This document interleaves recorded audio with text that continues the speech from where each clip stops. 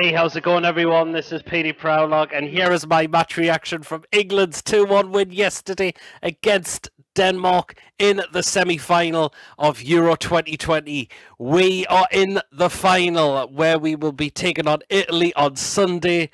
And oh my word, you're thinking final. We're in the final after it's been such a long time of getting this far in any major tournament.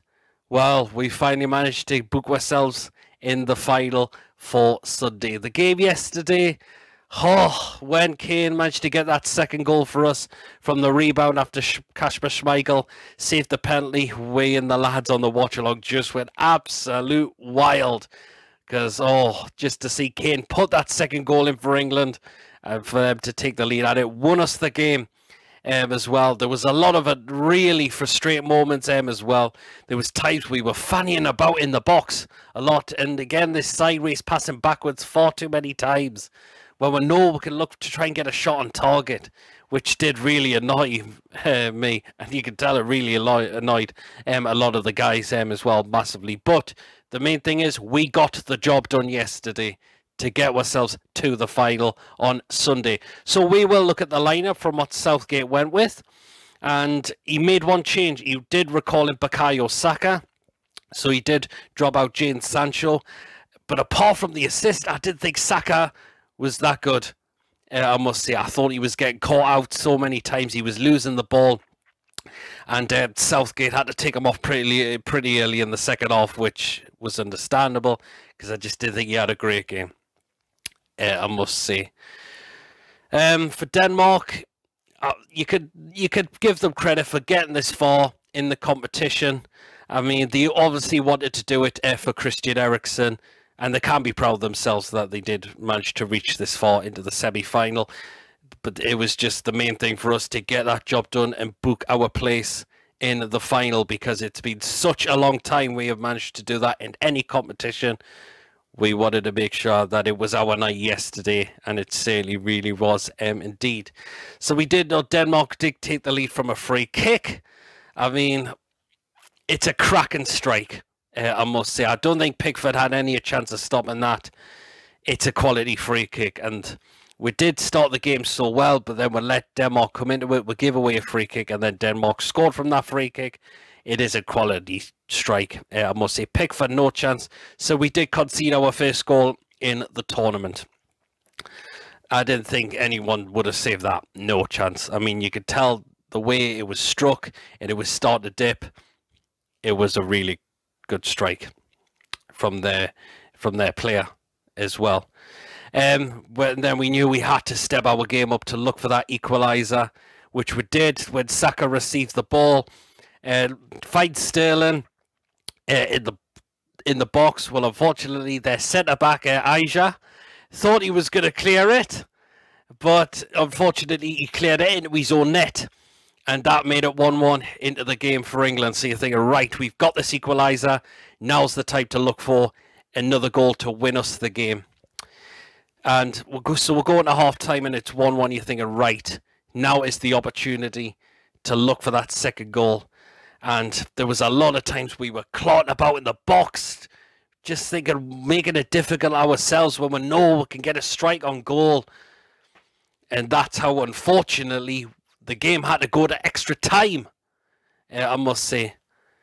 We should have brought on some more substitutions, but Southgate waited at going in extra time. He brought Henderson on, and then he brought Foden on um, as well, just to try and give us, us some fresh legs um, in, in, uh, for extra time um, as well, which I think we did need. I must say, but I think we should have looked to bring more some attacking players on as well. I did great with Foden, but I think there should have been another attacking player on either Sancho, possibly. So, yeah, Harry Kane had a chance to take the lead, but his shot was saved. And then we did manage to win a penalty where Sterling was apparently brought down in the box. Lots of questions being asked. Was that a penalty? Well, the thing is, there should have been a penalty before that for England because you could tell Kane was easily uh, fouled in the penalty box. So referee thought, well, I didn't give that one.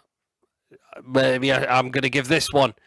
Um, instead, and to be honest, we've had loads of decisions go our way in plenty of other previous tournaments um, as well. So again, that was no complaints from me.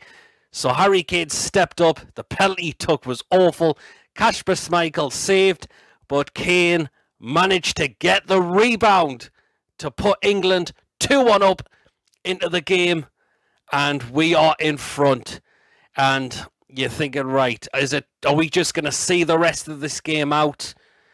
Or is it gonna be letting Denmark um, just see what they could do? But I think Denmark just really started to tire out throughout the rest of the game, which they really did. I know we did bring on uh, Kieran Trippier in the second half of extra time. We took Grealish off, which I didn't understand. my word. Oh, my word. And I know um, Sterling had a chance right towards the end of the game um, in the extra time to try and win it. But again, Schmeichel saved again. He's a great, good, really good keeper, Kasper Schmeichel, and he plays for Leicester City um, as well, and he is really, really good. Yeah, I must say. But England did win the game 2 1 when the referee blew that full time whistle. So we are in the final. Oh, and you can tell there's going to be a lot of excitement and a lot of build up for this game on Sunday as well. Can we bring it home on Sunday? We really, really hope um, we can. But main thing is we got the job done yesterday to book that place in the final on Sunday. Oh, my word. So that is my match reaction. Let me know, as always, down in the comments section how you are feeling after that yesterday. Can we win Euro 2020? Bring it home. So there you are. So I am going to do another watch along for the final. Why not? May as well. These have been doing very well. So why not do another watch along uh, for Sunday's uh, game as well? And I'll probably do another match reaction, seeing how uh, if doing if we have won it or if we haven't. But there you are. So thank you for watching. Of course, don't forget to give this video a like. And uh, please drop your comments in as well, how, how you are feeling as I've mentioned. And of course, if you haven't checked me out before, please do hit that subscribe button. And I shall catch us all later. Take care. Whoa. Let me know how you are feeling as always. And of course, I forgot to mention, keep an eye out for the preview for the Italy game as well.